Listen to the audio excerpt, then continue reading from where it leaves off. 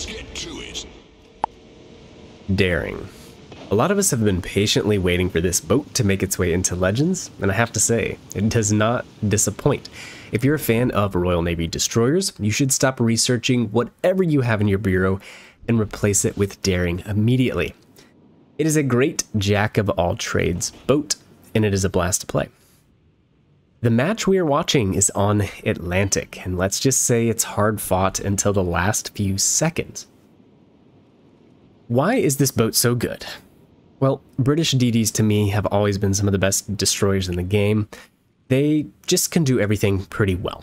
A jack of all trades, so to speak, but that's not very British, so let's call it a George of all trades. Meaning this boat can do a lot of things well. It's really not the master of one specific trait or playstyle, but you can do a lot of things well. To start this match, no CVs and not a lot in the terms of radar cruiser, so we're going to go straight into this cap and try to quick cap it before the enemy does anything. It is legendary tier, so I'd say for the first 10 minutes, of course, cap points are off limits. You cannot sail into them. So, um, yeah, it's just best to probably get in there and quick cap if you don't think you're going to get rushed by DDs or a radar cruiser. This game is a game of throws, but which side? You'll just have to watch and see. Before we go any further though, let's take a quick look at how I set this ship up. It's a great hybrid destroyer, so really you can set it up in a ton of different ways, and I'll be curious to hear your guys' builds in the future when you get your daring. You could do Jellicoe to buff heals and fire chance. You could do fully packed with Jellicoe to get an extra heal. You could do Grot Mass for an insane 13% fire chance and nearly a 2 second reload. Very, very toxic. Or if you're like me, you could take a middle of the road approach. And of course, I am trying to play more free to play commanders to, uh, you know, show what you can do without spending any money on the game if you don't want to. And yes, I'm opinionated on this boat in a good way, in a positive way. I really like it, but it's free. You don't have to pay really to do the Bureau. You need to have the Jervis, you need to have the Lightning, so it's all grindable for free. So yes, I'm going to share my opinion. Now the build. Aiming Systems Mod 1, Steering Gears, Concealment, and MBM 3. I'm using Vian with Quick Fix, Perceptive, Sidestep, and Rather Be Torched.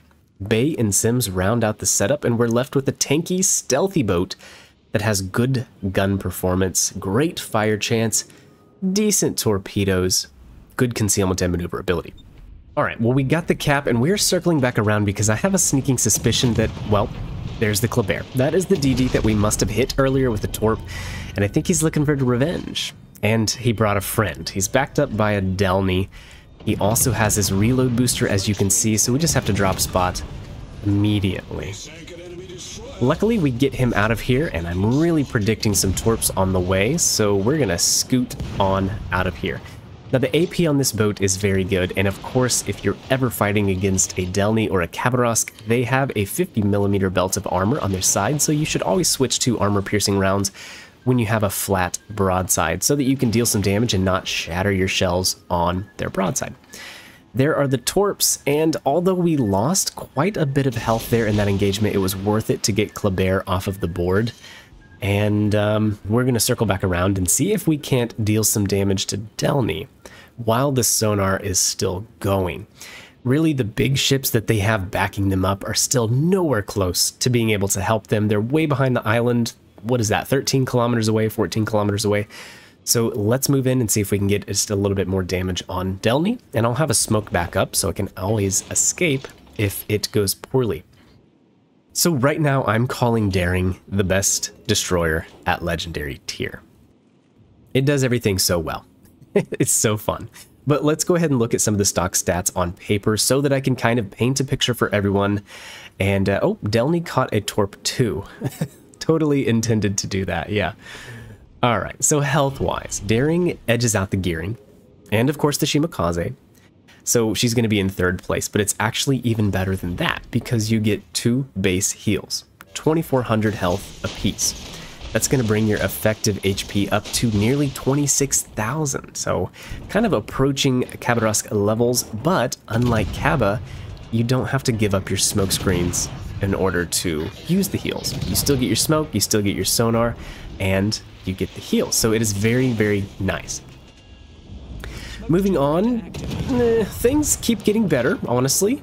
So, the guns. They have a around a 3 second base reload, and the range is 11.1. I feel like that's decent enough that you don't really need the range mod in slot 4, Although I would like to point out now that it is a 10% buff instead of a 5% buff like it used to be. It is now that way after this most recent update. And also the turret traverse module in slot 1 got buffed, so if you're curious about revamping some builds, now would be a good time.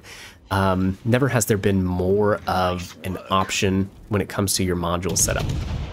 So the rune got smacked, but he gets away. We set a fire here, I believe, and honestly, I thought that was going to take him out of the match. Anyways, I thought the fire would burn him out and that would be the end of it, but Rune is really going to come back to bite us in the butt. Okay, moving on. HE shell damage. It's a little anemic at 1700 damage apiece. These are pretty small caliber guns, but the fire chance is that of a much larger caliber shell. They're only 113 millimeter guns. That's the smallest DD guns at legendary tier, but they get the same base fire chance as the Khabarovsk, a DD with much, much larger guns, 130s. Now couple that with these reload times, and this is a fantastic fire starter, one of the best destroyers in the game. DPM is respectable with that low HE alpha, and while Gearing is still king of the castle and is going to eat your groceries, Gearing will pay for it dearly in a straight up gunfight with you. I would say mind your P's and Q's around Gearing and Kaba, and of course the French cigarette boat, if it still has its reload booster, it's going to do a lot of damage to you. Also watch out for Sumner and Hayate. Yes, Hayate. Stick around for the next video this week and I'll show you why. But other than those boats, Daring is a menace and a scary gunboat when it's set up kind of like mine. Other DDs should, uh, they should probably fear you. The AP shells. We were going to test them out on the broadside Delny earlier, but didn't get a chance to, but they have improved penetration angles, so they're definitely worth using when you're taking a break from torching everybody. Moving on to the torpedo armament. You get 10 torps. They deal around 16,700 damage. That's the lowest at the tier. And so that means your alpha strike potential is the lowest as well. 160k, that is half of the Shimakaze. They do have 10 km range, so that's better than everything except gearing. 62 knots, 1300 meter detection, they have about an 8 second reaction time, which is pretty average. And they reload in 2 minutes, that's kind of a long time. It's still better than the gearing, but really it is not spectacular, and you're going to be finding yourself thinking, man, I wish these torpedoes would be reloaded. And uh, at the end of the game, you'll see why. You could spec into Torps using, what, who is it, Tyrwhitt, I believe, and maybe see some better stats there. I personally just enjoy the Daka. It is a lot of fun, but uh, if you do a Torp build in the future, I look forward to hearing from you. Alright, well earlier I mentioned this was a game of throws. Now you might see just who's throwing the match. We are we had a two ship lead, and while we're currently triple capping them, I see the tides turning really quickly. I thought by leaving the rune over there with the teammates that we spawned with that they would be able to run them down pretty easily. I believe we had a full health Colbert over there the last time I looked, and that ship is freaking nightmare material. So we left them alone. We came over for A cap, and it, it did come back to bite me. I started shooting from the open water at the Des Moines, kind of thinking, well, the game's over, I'll get a little more damage. And here we are. uh, Mogador got the cap for us here at A, so that is good, and then things have really gone to pot. The full health gearing is definitely a problem with the Des Moines radar as well, so that is why we are now sailing back over to Seaside. Hopefully we can stop the Alsace from taking C and we can kind of force him away, but they took B, now they're going to take A. It is definitely not looking good.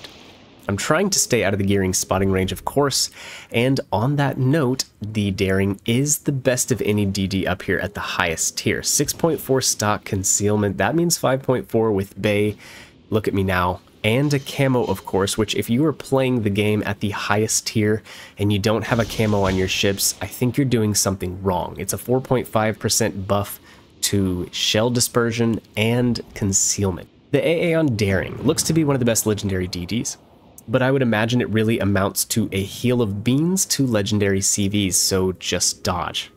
At the very least, I would say you have six short duration smokes, which I find to be one of the best defenses against enemy CVs.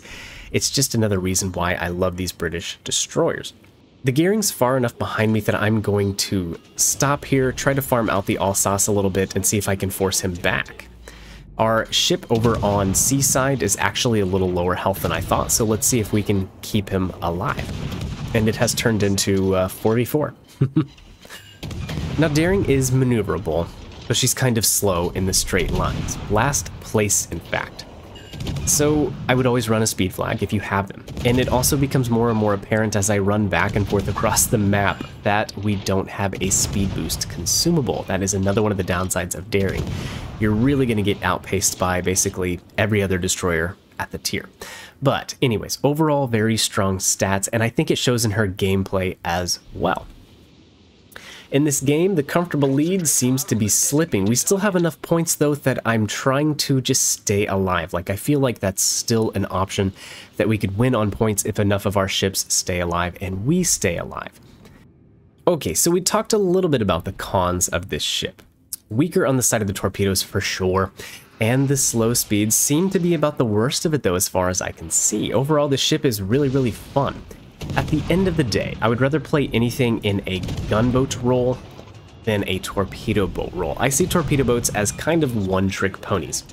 You can use your big torpedo alphas to smack battleships and other ships, but you can't really fight against other DDs or contest caps or be super aggressive. You're often relegated to just sailing around while you wait for your torpedoes to rearm. And that is why if I have the option on a hybrid DD, I am always going to run guns. I see it being more influential in the match, just my personal preference.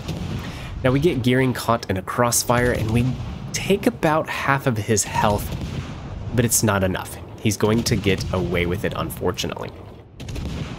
Des Moines is still pushing this way. I would say at least Des Moines seems to be out of radar, and we lost our Colbert. So the points lead it's not going to uh, it's not going to work. We're not going to win on points. We're going to have to kill some more ships. Rune looks like a perfect candidate to get killed, and I think he's finally going to push this way. So we'll drop some uh, little British British sea mines here for him, and we'll see if he runs into them. Now, I'm curious what you guys think of the Daring. Just by watching her gameplay, I'm sure you'll check out some of the other CC videos on her as well. And I guess my next question is, does anyone still play Legendary tier? This was the first game I have queued up here in this tier since the Bourgogne last update. I have heard a lot of the CCs talk about long waits in matchmaking, trying to find matches just maybe because of a lack of players. I don't know. I'm curious what you guys think. Just a few seconds left and I'll give my final thoughts on this ship. I am very happy the way that they are doing the Bureau now.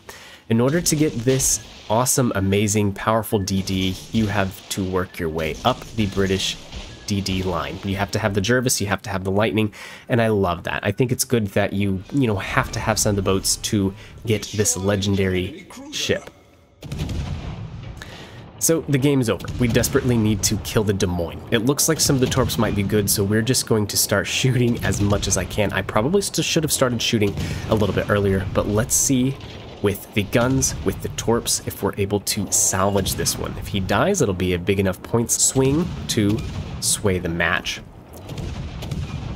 We get two torp hits on him actually, but that low torp alpha comes back to bite me in the butt. However, update day, I cannot stand to play another game, so this one's going to have to do it for the daring.